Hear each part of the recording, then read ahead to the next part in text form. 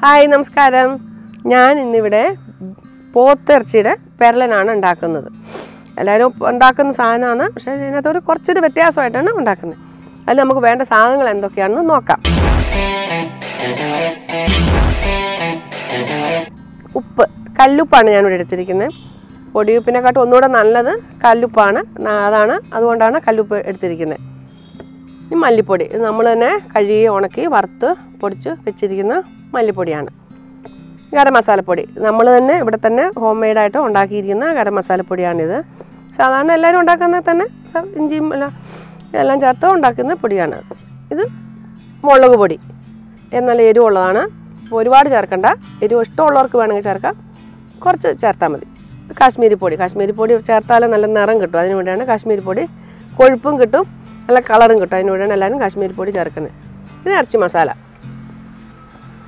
മഞ്ഞൾപ്പൊടി. എന്തിനും ഇച്ചിരി മഞ്ഞൾപ്പൊടി വേണമല്ലോ. അതുകൊണ്ട് നമ്മുടെ ഇറച്ചിക്കും ഇച്ചിരി മഞ്ഞൾപ്പൊടി വേണം നിർബന്ധമാണ് ഇഞ്ചി വെളുത്തുള്ളി ക്രഷ് ചെയ്തെടുത്തത്. ചതച്ചെടുത്തിരിക്കുന്നത്. അരയ്ക്കേണ്ട. അരച്ചാലും കുഴപ്പമൊന്നുമില്ല. ഞാനിപ്പോൾ ഇവിടെ അരയ്ക്കേണ്ട എടുത്തിരിക്കുന്നത്. ഇത് ഒരു മുളകാണ്. നടുവെ പിളന്നിട്ടിരിക്കുന്നത് ഇതൊരു മുരിങ്ങക്കായുടെ അത്ര നിങ്ങളൊരു മുളകായിരുന്നു. അതുകൊണ്ട് ഇത് അതുകൊണ്ടാണ് ഇത് കുറേ ആയിട്ട് തോന്നുന്നത് ഒറ്റ ഒന്നേ ഉള്ളൂ സംഭവം.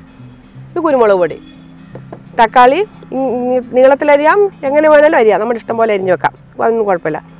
തേങ്ങാക്കൊത്ത്. സവോള. ഇത് രണ്ട് സവോള ഉണ്ട് ഇടത്തരം രണ്ട് സവോള. കനം കുറച്ച് അരിഞ്ഞു വെച്ചിരിക്കുന്നത് പിന്നെ കറിവേപ്പില. എല്ലാ കറിക്കും ടേസ്റ്റ് കൂട്ടാൻ വേണ്ട അത്യാവശ്യം വേണ്ട ഒരു സാധനമാണ് കറിവേപ്പില. അത് നമുക്ക് ഒഴിവാക്കാൻ പ്രത്യേകിച്ച് ഇറച്ചിക്കും മീനൊന്നും ഒഴിവാക്കാൻ പറ്റുന്ന കാര്യമല്ല. ഇത് വെളുത്ത് വെളിച്ചെണ്ണ. വെളിച്ചെണ്ണനാണ് ഇറച്ചി ഉണ്ടാക്കുമ്പോൾ ടേസ്റ്റ് കൂടുതൽ കിട്ടുന്നത്. അപ്പോൾ നമുക്ക് പോത്ത് പെരളൻ എങ്ങനെയാണ് ഉണ്ടാക്കുന്നത് നോക്കാം. അതിന് വേണ്ട സാധനങ്ങളെല്ലാം നേരത്തെ ഞാൻ പറഞ്ഞിട്ടുണ്ടായിരുന്നല്ലോ. അപ്പോൾ നമുക്കത് എങ്ങനെയാണ് ഉണ്ടാകുന്നത് നോക്കാം. ആദ്യം കുക്കറിലേക്ക് എടുത്തിട്ട് നല്ലപോലെ കഴുകി വാരി വൃത്തിയാക്കി വെച്ചിരിക്കുന്ന പോത്താണ്. നമുക്കത് കുക്കറിലേക്ക് ഇട്ട് കൊടുക്കാം.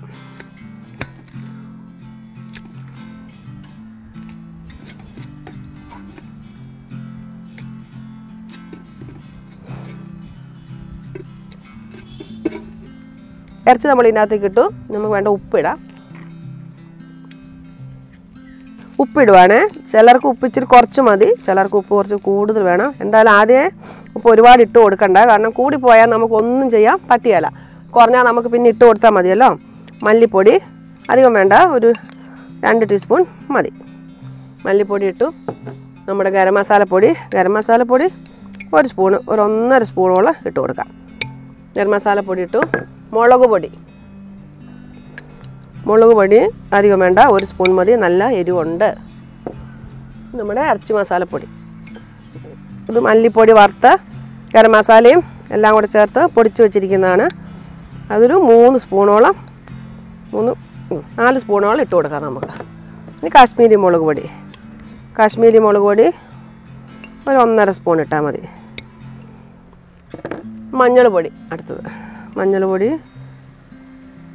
അത് മതി അര സ്പൂണ് മതി.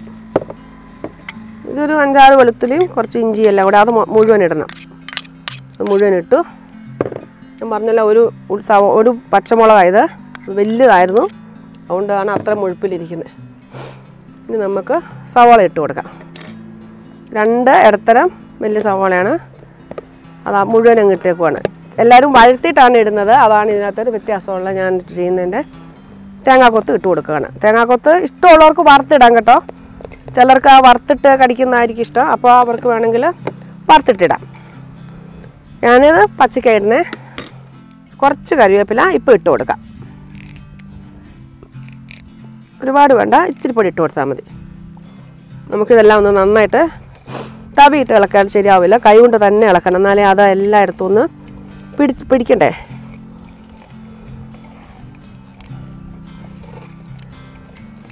എല്ലാം ഉണ്ടോ എല്ലായിടത്തും ആയി. ഇത് എല്ലായിടത്തും ആയി. എല്ലായിടത്തും നന്നായിട്ട് ആവണം കേട്ടോ. നന്നായിട്ട് എല്ലായിടും ഒന്ന് നന്നായിട്ടൊന്ന് തിരുമ്മിയാൻ കൊടുത്താൽ മതി. വേറെ ഒന്നുമില്ലല്ലോ. ആയി നന്നായിട്ടായി. ഇനി നമുക്കൊന്ന് അടച്ചു വെച്ച് വിസിൽ ചെയ്യിപ്പിക്കാം.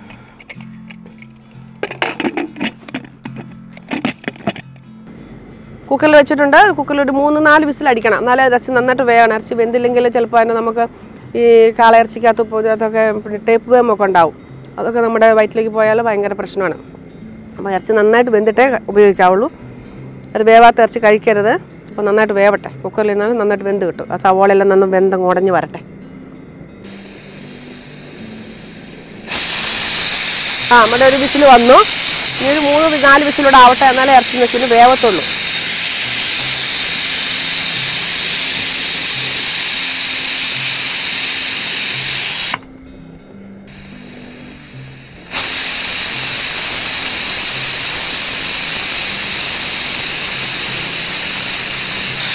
കുക്കർ അഞ്ചാറ് വട്ടം വിസിൽ ചെയ്തു. ഇനി നമുക്ക് ഓഫാക്കാം ഒന്ന് തണുക്കട്ടെ തണുക്കുന്നോടെ വരെ ഓഫ് വെയിറ്റ് ചെയ്യണം. തണുത്താലേ നന്നായിട്ട് വെന്ത് കിട്ടത്തുള്ളൂ ഇതൊന്ന് ഓഫാക്കട്ടെ സ്റ്റൗ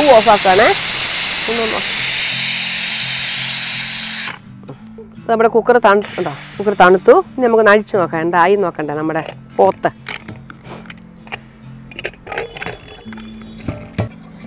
ഒന്ന് ഇളക്കട്ടെ. എല്ലാം നന്നായിട്ട് വെന്തു. കറിയെല്ലാം നല്ലപോലെ സവോളയെല്ലാം എന്താ ഉടഞ്ഞ് നന്നായിട്ടുണ്ടോ. കൊഴുത്തിരിക്കുന്നുണ്ടോ. ഇതിന് ബാക്കി വളർത്താൻ വേണ്ടിയിട്ട് ഇത് വെച്ച് പിന്നെ പാത്രം വെച്ചു. നമുക്കൊന്ന് കത്തിച്ച് കൊടുക്കാം. എണ്ണ ഒഴിച്ചു കൊടുക്കാം. ചട്ടി ചൂടായിട്ടുണ്ട്. നമുക്ക് എണ്ണ ഒഴിച്ചു കൊടുക്കാം.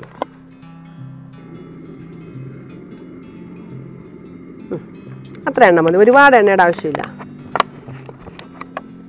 ഇതിലേക്ക് തക്കാളി ഇട്ട് കൊടുക്കാം.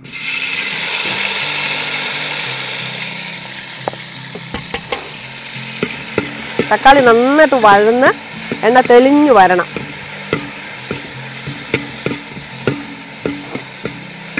ഇത് നന്നായിട്ട് ഉടഞ്ഞു നല്ല എണ്ണ തെളിഞ്ഞു. ഇനി നമുക്ക് ഇതിനകത്തോട്ട് കുറച്ച് കരിവേപ്പിലയും കുരുമുളക് പൊടിയും ഇട്ട് കൊടുക്കാം. നമുക്ക് ഇതിനകത്തോട്ട് കുറച്ച് കരിവേപ്പില ഇട്ട് കൊടുക്കാം. കരിവേപ്പില തീരെ കുറയ്ക്കണ്ട. കരിവേപ്പില ഇട്ടു. കരിവേപ്പില ഇട്ടു. അതിനകത്തോട്ട് നമുക്ക് കുറച്ച് കുരുമുളക് പൊടി ഇട്ട് കൊടുക്കാം. ഒരു സ്പൂൺ കുരുമുളക് പൊടി മതി മതി. അതിന്റെ ആവശ്യമുള്ളൂ. ഒത്തിരി ഒത്തിരി എരിവിന്റെ ആവശ്യമില്ലല്ലോ. എല്ലാവർക്കും കൂടി കൂട്ടണ്ടല്ലേ? ഇനി നമുക്ക് നമ്മുടെ നമ്മുടെ രാജാവായ താരമായ പോത്ത്.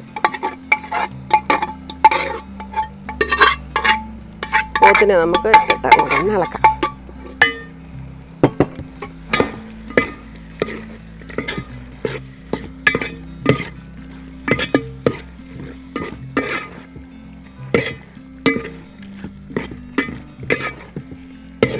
കുരുമുളക് പൊടി എല്ലാം ഇട്ട് നന്നായിട്ട് ഇളക്കി ഇനി നമുക്ക് ഇതിന്റെ തീ ഒന്ന് കുറച്ച് വെച്ചേച്ചിട്ട് കുറച്ച് കരിവേപ്പിലയും കൂടി ഇട്ട്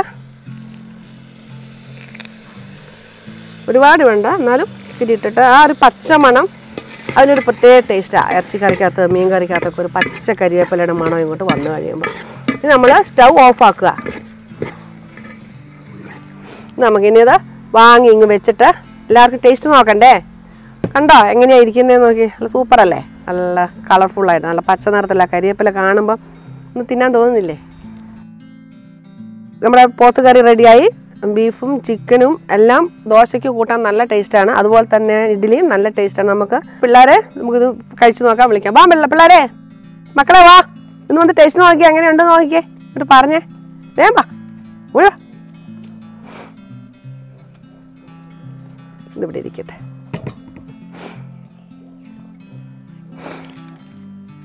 കഴിക്കേ.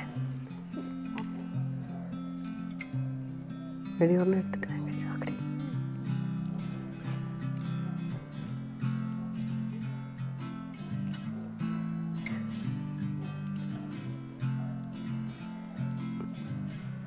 എങ്ങനെയുണ്ട്? സൂപ്പർ. സൂപ്പറാണോ? എല്ലാ അമ്മമാരും പിള്ളേർക്ക് ഉണ്ടാക്കി കൊടുക്കണം. നല്ല അടിപൊളി കറിയാണ്. കേട്ടല്ലോ? അപ്പം എല്ലാവരും വീട്ടിലുണ്ടാക്കി നോക്കണം ടേസ്റ്റ് ചെയ്ത് നോക്കണം. എല്ലാവരും ഉണ്ടാക്കും പോലെയാണ് ഞാൻ ആ സവാള തക്കാളി ഒന്ന് വഴത്തിയിട്ടു അത് മാത്രമേ ഉള്ളൂ ഒരു പ്രത്യേകത. പിന്നെ ആ പച്ച കരിവേപ്പില അതിന്റെ കണ്ടില്ലേ ആ പച്ച കരിവേപ്പില അവസാനം ഇടുമ്പോൾ ആ കരിവേപ്പിലയുടെ പച്ച നിറം മാറുന്നില്ല. ഇറച്ചിക്കകത്ത് ആ പച്ച നിറത്തിൽ കിടക്കുന്ന കാണുമ്പോൾ ഒരു പ്രത്യേക ഒരു ഭംഗിയില്ലേ? ഒന്ന് ഉണ്ടാക്കി നോക്കണം. ഉണ്ടാക്കി നോക്കിയിട്ട് എല്ലാവരും ഇഷ്ടപ്പെട്ടെങ്കിൽ ലൈക്ക് അടിക്കണം. ഞങ്ങളുടെ ചാനൽ സബ്സ്ക്രൈബ് ചെയ്യാൻ മറക്കല്ലേ?